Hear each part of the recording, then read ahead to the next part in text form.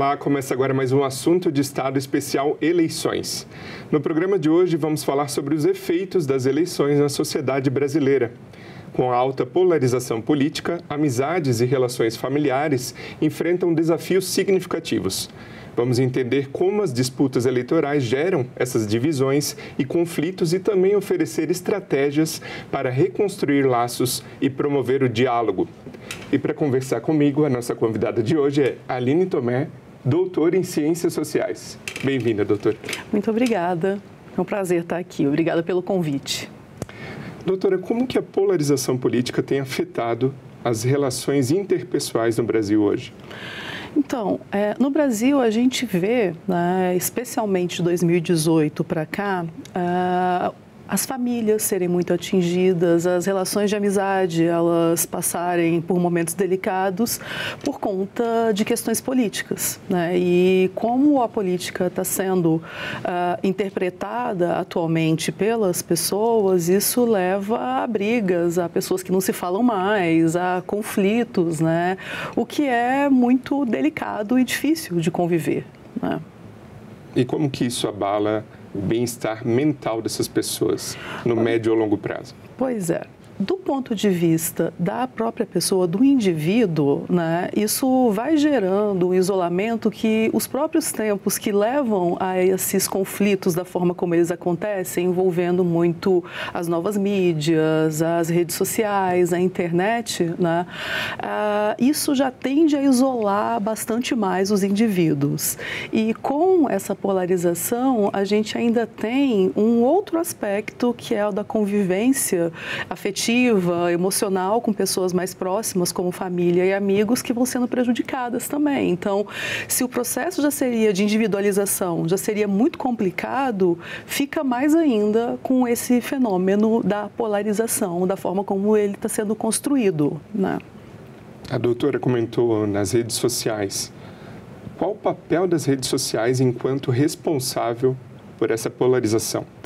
Pois é, é, grande parte das tentativas que têm acontecido agora de negociações para normativas, para políticas públicas, tem sido no sentido de como regulamentar essas redes sociais. E aí é, uma, é um conflito grande, porque vai envolver as chamadas big techs, vai envolver o governo, os indivíduos, a sociedade e, de, de certa forma, também outros grupos econômicos de poder né? Então, é, tem muitos agentes importantes envolvidos aí nessa questão. Porque o que acontece? É, a gente vive em uma era em que a necessidade da, vila, da viralização, do escândalo, que é o que faz com que a, o algoritmo se alimente e vá reproduzindo, que é totalmente do interesse de políticos para ganharem projeção, para aparecerem. É necessário que esses escândalos aconteçam e aí isso vai gerando. É, conflitos e ódios de várias partes. A questão é que, para a democracia, isso é muito problemático, porque a, democracia, a democracia ela pode e envolve conflitos, porém é necessário um diálogo ou uma disputa no espaço público que leve a algum lugar e não somente que separe ou que faça com que as pessoas não falem, não se falem mais entre elas ou algo nesse sentido. Então, é um novo contexto. É, regulamentar ainda é algo muito desafiador, mas já está acontecendo e a expectativa é que continue. A gente hoje já tem na ONU uma discussão de a questão questão de é, a, a, imagem que a pessoa tem ser um direito fundamental. Então, ela não pode ser é, destruída, ela não pode ser é, ferida por meio de mentiras ou algo nesse sentido, que é o que acontece muito nesse contexto. Né? Então, a Europa já tem uma regulamentação, a, outros países já têm trabalhado, o Brasil, inclusive, tem trabalhado também nesse sentido, embora muitas vezes possa lidar de uma forma muito difícil com outro pilar da democracia, que é a da liberdade de expressão, da livre imprensa, da diversidade de fontes de informação, ainda assim faz parte da realidade atual e isso precisa de regulamentação. Não dá para ser uma terra de ninguém. E qual que é a expectativa da doutora a respeito? A doutora acredita que vamos conseguir chegar em breve a esse momento de regulação porém mantendo a democracia na sua plenitude? Sim, é, sinceramente, eu creio que até para manter a democracia na plenitude, isso vai ser essencial. Né? É, uma das grandes características também desse momento que vai formando a imagem da polarização é a difusão de falácias. Né? As pessoas elas vão divulgando informações que não são verdadeiras como se fossem, elas se repetem, repetem, repetem e as pessoas passam a acreditar ao ponto de muitas vezes se tornarem verdades. Né? Então, isso para a democracia, do ponto de vista do pilar de haver é, eleições justas, livres, frequentes, com tantas mentiras sendo colocadas e viralizadas e tornando verdades tão rapidamente, é, esse pilar da democracia fica extremamente prejudicado. Então, até para que haja uma liberdade de expressão, as instituições democráticas elas não podem ser prejudicadas. Então, não é regular, não é é entrar na casa da pessoa, no celular da pessoa e dizer o que ela vai ou o que ela não vai fazer. É ter algum tipo de regulamentação como o espaço público tem. A internet ela é uma espécie de espaço público. Então, se na nossa convivência a gente tem tipificações de crimes, a gente tem responsabilidades, não pode ser diferente com o universo das redes sociais e da internet. Um comportamento que surge com mais evidência nessa época eleitoral é o viés da confirmação, que é um fenômeno psicológico em que a pessoa tem suas crenças pré-existentes e ela ignora tudo que for contrário a isso. Perfeito. Como que esse viés da confirmação contribui para a divisão da sociedade? Então, é, nas ciências sociais, a gente tem uma discussão sobre as questões para além da racionalidade que afetam a política. O que, que levam as pessoas a votarem num determinado partido político, numa determinada, num determinado candidato ou apoiar uma determinada ideologia? Ela está pensando racionalmente em custos, benefícios, no, observando o que está acontecendo na realidade ou existem outros fatores que levam a isso. Então, existem, né? existem fatores de ordem tradicional, é difícil quebrar com tradições. Existem também os fatores de ordem é, emocional. É, aquelas lideranças que ficaram bastante famosas há um tempo atrás aqui no Brasil também, as lideranças carismáticas, elas trabalham muito com isso, com o desenvolver nas pessoas ah, o emocional, o afetivo, as paixões, os ódios, e aí a racionalidade ela pode ficar um pouco de fora. Então, é, quando a pessoa está é, nessa lógica do viés da confirmação, ela é, pode ver do ponto de vista racional números, dados, situações da própria vida dela. Tem muitos estudos atualmente sobre as pessoas da que era chamada classe C, né, que apoiam medidas que, em geral, precarizam ainda mais os seus trabalhos, as suas vidas. Muito pouco muda ou tem mudado nas vidas deles e eles apoiam ideologias que, evidentemente, vão prejudicar ainda mais é, afrouxamento de legislação trabalhista, é, de proteção, precarização da saúde, né? E ainda assim essas pessoas elas estão de alguma forma apaixonadas, seduzidas ou com medo né? As emoções também é, de medo, de ódio, elas também acabam dominando muito, né? Cria-se esse opositor que gera muito medo, que gera é, possibilidades da pessoa pensar que ela vai passar por alguma coisa muito ruim se ela seguir uma lógica de algo que ela não acredita e aí ela perde a racionalidade dela, ela passa a agir com paixões e isso é uma característica que reforça muito governos populistas, né? Essa perda da racionalidade verdade e aí as pessoas elas só querem realmente confirmar aquilo que elas acreditam ou pelo menos que foi construído mentalmente é, para elas, mesmo que seja recente, mas parece que é uma coisa muito antiga e não necessariamente é. Né? E existe alguma maneira eficaz de se combater esse comportamento do viés da confirmação? Ou é, é infrutífero tentar convencer alguém de que ele não está atuando com racionalidade e que ele pode vir a ter um diálogo mais racional e vendo até números e comprovações que a doutora falava.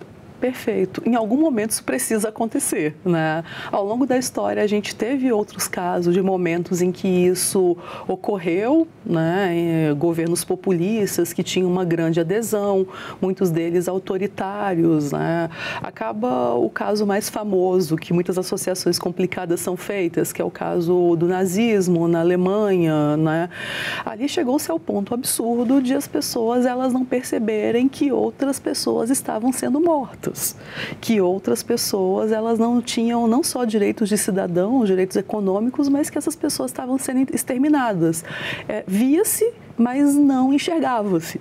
É, a desumanização dessas pessoas ela era tão extrema que isso é, acabou levando a um dos vários grandes absurdos que a gente teve e tem ainda hoje ao longo da história. Né? Então, é, se chegou várias vezes a soluções e creio que a gente vai chegar também é, agora em algum momento, né? Agora, para isso, eu imagino que a gente precise primeiro lidar com esse novo ambiente que nós temos, as comunicações. Então, essas iniciativas de regulamentação, essa nova compreensão do ser humano com seus direitos fundamentais, tendo a questão da sua imagem que não pode ser corrompida, que não pode ser é, falseada, que não pode ser é, tratada como algo que não é, é um bem precioso, um direito fundamental. Isso precisa, essa, essa mudança de mentalidade, eu acredito que seja um caminho para a gente começar a lidar um pouco melhor com isso, para que as pessoas comecem a voltar um pouco para o seu prumo e entender que a política ela é a arte da disputa do espaço, mas sem necessariamente é, haver uma aniquilação de um polo oposto ou algo nesse sentido. Um fato que preocupa muito a sociedade é o número dos crimes motivados por política. A gente trouxe aqui uma arte para ilustrar. Só no primeiro semestre de 2024, são 187 registros de crimes motivados por política em que a vítima é uma liderança política ou seu familiar. Esse número, comparado com o mesmo período dos dois últimos anos, ele até é menor, Aqui a gente trouxe por tipo de crime, sendo com mais ocorrências ameaças, agressões e, em terceiro lugar, homicídios. Sim. Na visão da doutora, o que fazer para reduzir esse número de crimes motivados por política? Pois é, se a gente olhar os dados ali no, uh, no slide anterior, a gente observa que nos períodos como o que nós estamos vivendo agora, de disputas eleitorais, isso aumenta bastante, salvo 2020 ali, que a gente sabe muito bem que, além da questão das disputas eleitorais, a gente tinha a pandemia, então as pessoas elas estavam numa dinâmica muitíssimo complicada e que é, ela era atípica, ainda bem que é atípica, né? Mas em períodos de disputa eleitoral, eleitoral, isso tende a aumentar, que é o que a gente está vivendo agora. Então, por enquanto, não está tão alto assim, o que pode ser uma evidência de que nós estamos um pouco melhor adaptados. Né? Não tenho como confirmar isso, mas pode ser que agora que as disputas eleitorais elas já foram quase que totalmente transferidas para a necessidade do uso do espaço virtual, das mídias, das redes sociais, da internet, né? agora é, talvez as pessoas elas estejam um pouco mais acostumadas né, de perceber que nem tudo que elas recebem é verdade, de que é, muitos prejuízos aconteceram devido a essas brigas, a esses conflitos, talvez nem tanto no espaço público da política mesmo, mas nas vidas pessoais delas. Né? Isso afeta a família, isso afeta as amizades, isso afeta relacionamentos amorosos, né? porque é, cria-se imagens, mas está em jogo convivência, está em jogo moral, né?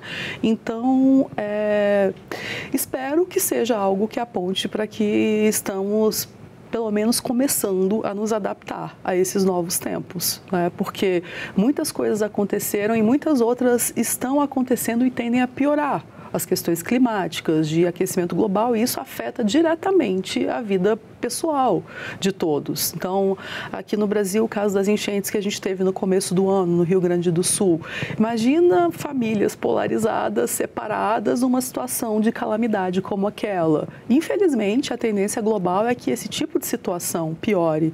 Então, pode ser que isso também faça com que a consciência vá voltando de alguma forma, percebendo que existem laços que eles não podem ser rompidos e que, observando a política, ali os políticos eles não são amigos ou inimigos, eles são políticos, eles fazem alianças quando é necessário que se faça alianças, quando há interesses que façam alianças.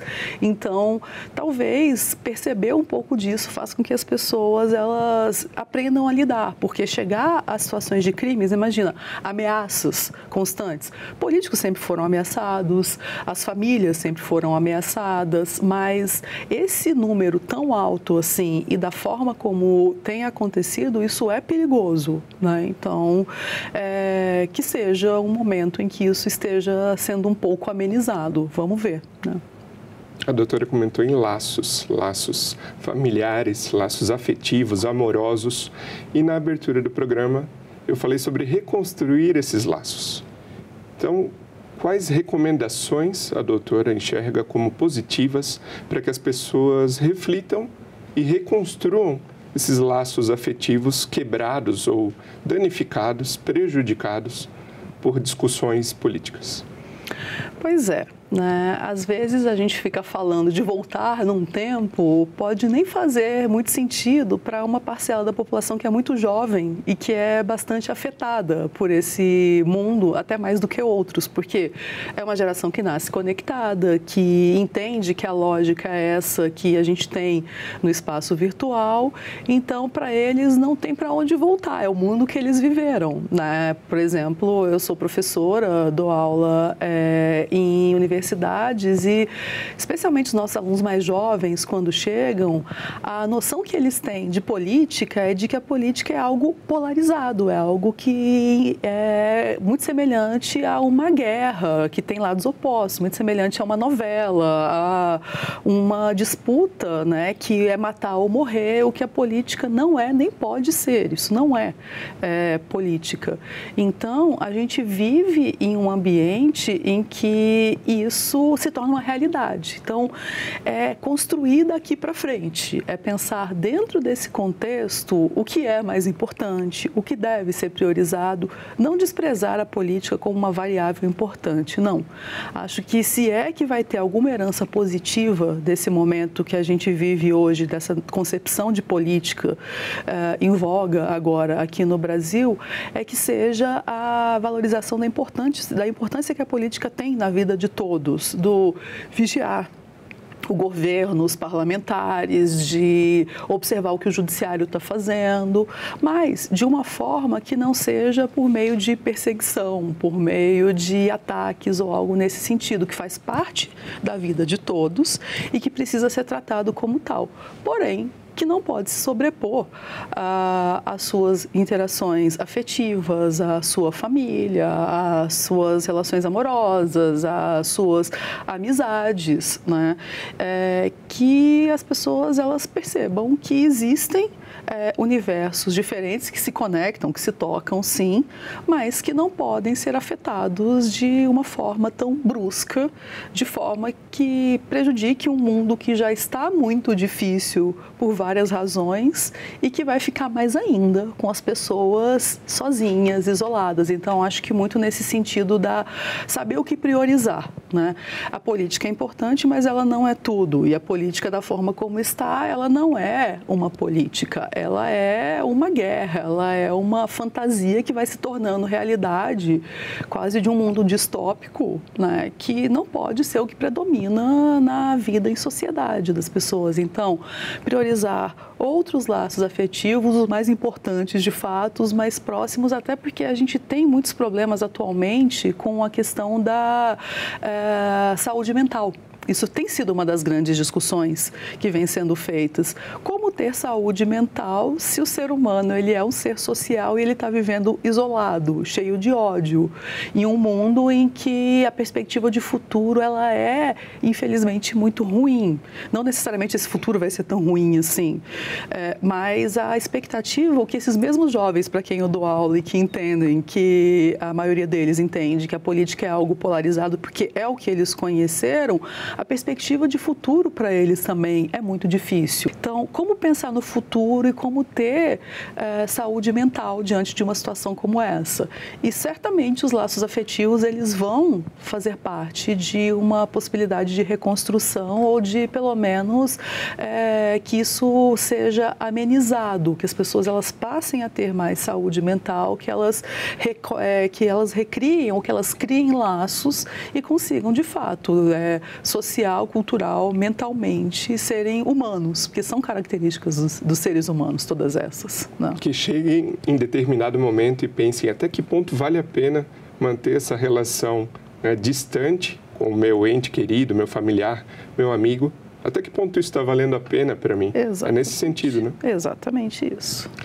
E doutora, a doutora até comentou, ah, se vai haver um, uma herança positiva desse momento tão dividido de política, discussões. Essa própria paixão que a política tem causado nos últimos anos, ela engajou mais o público. A gente pode considerar isso como um dos fatores positivos, esse engajamento é, novamente do público em relação à política, um interesse maior na política? Pois é, vamos ver, né? Porque por enquanto os resultados eles têm sido muito negativos. Olha os números né, que estão aparecendo aqui de crimes e de é, como as relações estão sendo prejudicadas, né?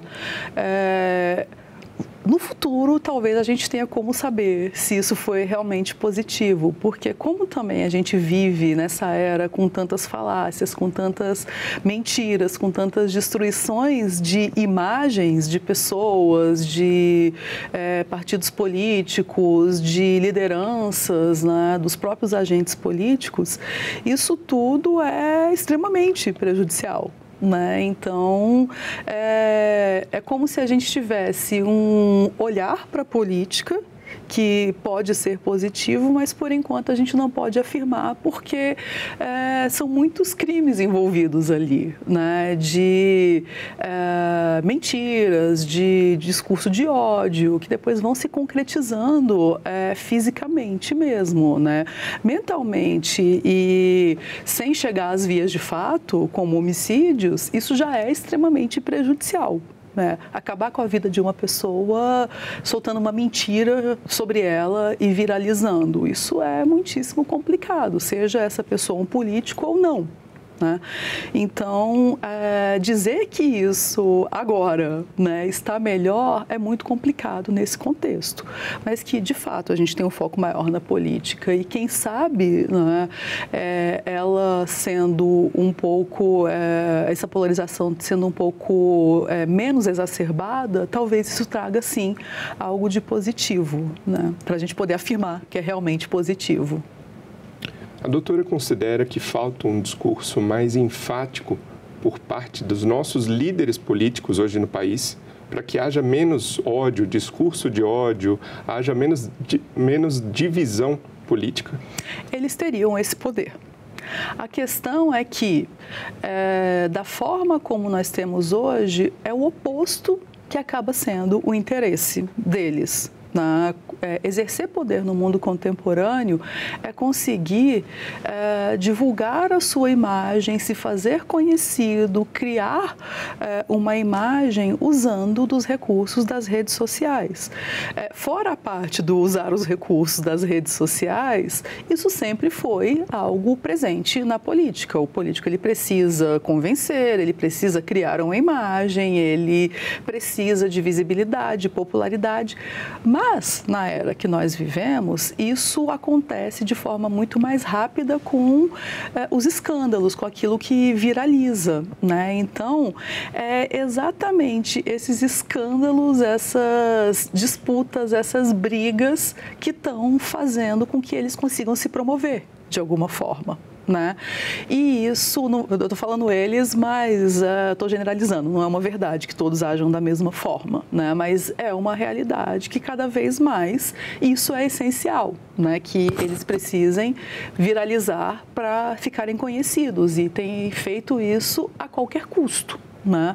E quanto pior, quanto mais chocante for, melhor para eles. Então, esperar que eles tenham a responsabilidade do que deveria ser né, de buscar uma sociedade mais coesa, mais justa, em que até as disputas que são essenciais no espaço público, elas aconteçam de uma maneira que seja razoável e que de alguma forma leve a algum lugar, que seria a responsabilidade mesmo desses políticos, parece ser exatamente o oposto do que é o interesse é, da forma como eles têm de se promover politicamente atualmente. Né? Então, é, é uma contradição muito difícil. Seria a responsabilidade, mas atualmente é o oposto, que realmente tem contado. Né? Doutora Aline Tomé, muito obrigado pela participação aqui no Assunto de Estado. Imagina, eu que agradeço muito a possibilidade de discutir esse tema e eu espero contribuir para a vida das pessoas e das famílias é, com algumas reflexões a respeito disso. E o meu muito obrigado a você que nos prestigia com a sua audiência. Essa entrevista já está disponível para você rever ou compartilhar no nosso site senado.leg.br/tv ou também no nosso canal no YouTube. Aproveita e se inscreve lá. Até o próximo assunto de Estado.